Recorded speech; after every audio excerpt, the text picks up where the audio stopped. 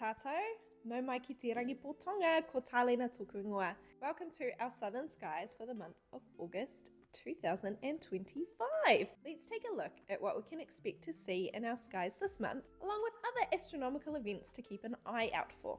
First up, evening sky highlights. It is your last good chance to spot Mars in the evening sky, with the best times being earlier in August. The red planet is slowly slipping away, so if you haven't had a look yet, don't miss our planetary neighbour in the west after sunset. August is also a fantastic time to take in the Milky Way, stretching right overhead in glorious detail on clear nights. Try getting away from city lights to really take in the beauty of our own galaxy. Saturn is another treat this month. It rises in the east before midnight, climbing higher each night, and is absolutely worth a look through a telescope if you can get your hands on one. Now for some morning sky highlights. In the morning skies, Matariki still shines along with Puanga, Tautoru, and Takurua in or around the constellation of Orion. So it's a lovely time to connect with the stars of our new year if you miss them in June or July. Venus and Jupiter are also visible, although they're sitting quite low on the horizon in the early hours. If you've got a clear view east, keep an eye out for these bright planets. And now for our moon phases this month. Our first quarter, the beginning of the Tamatea phase, is on the 2nd of August. Full moon, Rakaunui, on the 9th.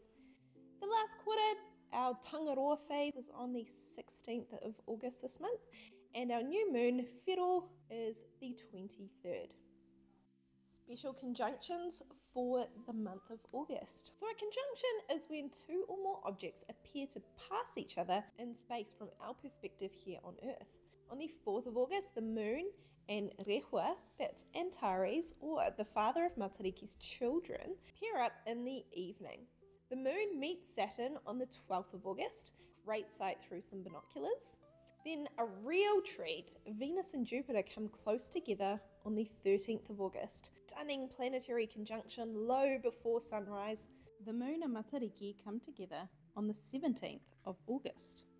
And on 26th of August, look for the moon alongside Mars in the west after sunset.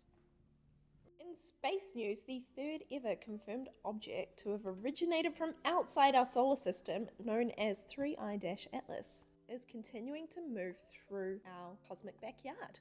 The comet is currently between Mars and Jupiter and poses absolutely no threat to Earth.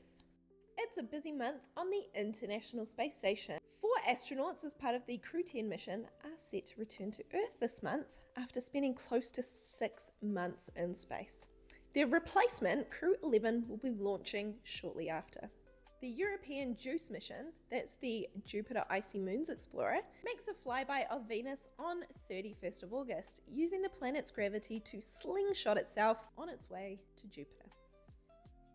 Here at Stardome this August, looking at a family favourite will be on this month in our planetarium, along with Beyond the Solar System, exploring the many weird and wonderful things in space. And the second in our new series, The Space Between, will be on August the 21st with our guest speaker Gina Cole, exploring the connections between science and fiction. That's all for now. Happy stargazing, and we'll see you under the stars here at Stardome.